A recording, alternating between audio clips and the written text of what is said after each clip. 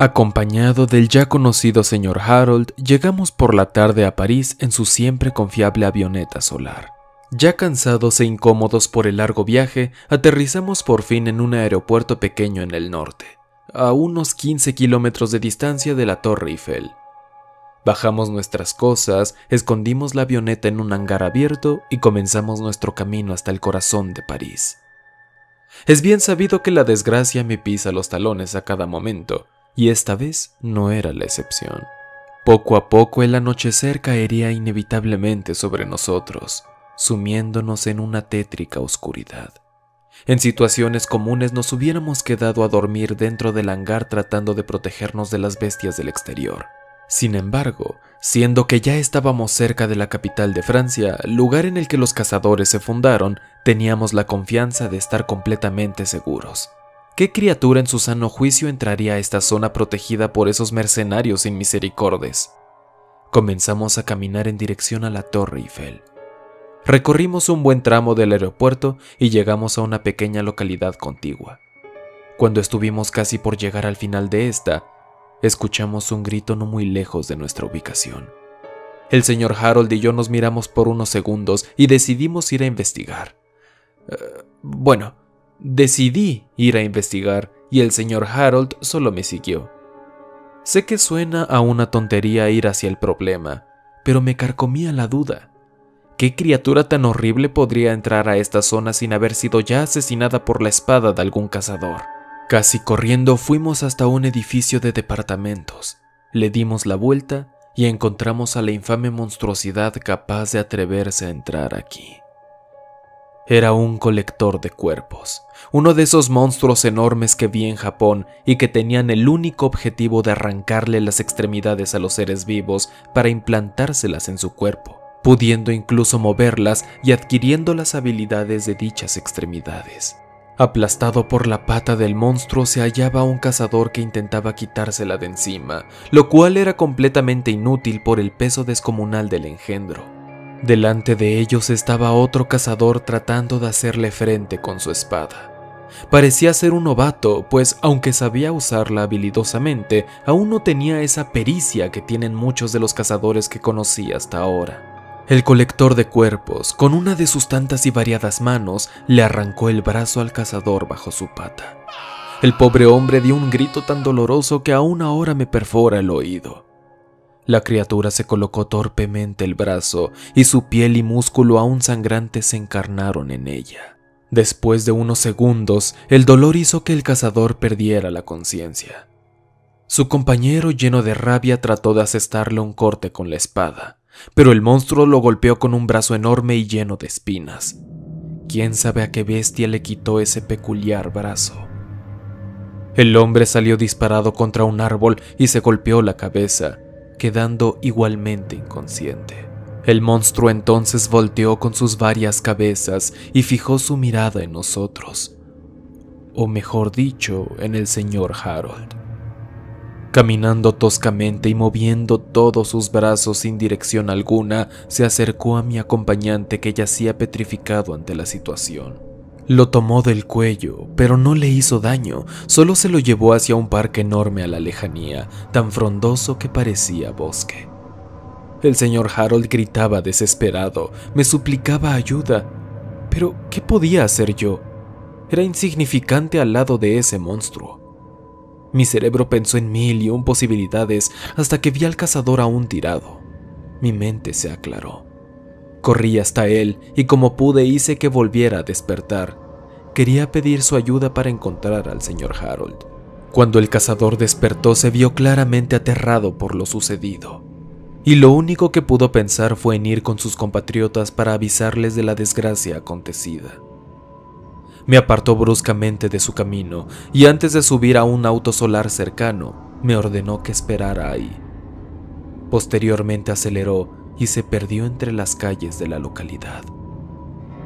Estuve ahí parado por varios segundos evaluando la situación, evaluando cada posible resultado de todas las acciones que podía hacer. Pero al final una sola idea me quedó en la mente. Si no iba a ayudar al señor Harold en ese momento, seguramente moriría. Sin pensarlo más, corrí cautelosamente hasta el parque, sorteando los tantos árboles que ahí había. La noche estaba cayendo por completo. Me vi en la necesidad de sacar dos cosas. Primero mi linterna y después un objeto que no había tocado en muchísimo tiempo. Mi pistola Luger. Dos balas. Era todo lo que quedaba. Durante mi viaje me he dado cuenta de que las armas como esta son completamente inútiles contra casi todos los monstruos, por eso rara vez la utilicé. Comencé a buscar rastros del monstruo y no fue difícil. Su gran tamaño destrozaba los árboles y dejaba una peste nauseabunda detrás de él por la constante descomposición de las extremidades que se implanta. Recuerdo, además, que hubo un momento en el que pude ver de reojo una figura humanoide delgada y de aspecto tétrico. Sin embargo, al iluminar la zona, no pude ver absolutamente nada. Fue algo desconcertante. En fin, el camino de destrucción me llevó hasta lo más profundo del parque, una zona donde la vegetación era abundante y los árboles me rodeaban. El hedor se hizo insoportable. Supe entonces que ya estaba muy cerca. Por favor, ayúdame. Un escalofrío recorrió mi espalda al escuchar aquella voz tan familiar rogando que la socorriera. Esa voz era de Harold, pero ahora sonaba apagada, casi como si estuviera ahogándose. Giré lentamente hacia atrás, lugar de donde provenía la voz, y encontré al colector de cuerpos a un par de metros de mí, agazapado entre la vegetación. Y en el lugar donde estaban todas sus cabezas, estaba la del señor Harold. Sus ojos sangraban mientras me imploraba ayuda. Una lágrima recorrió mi mejilla te lo suplico, mátame.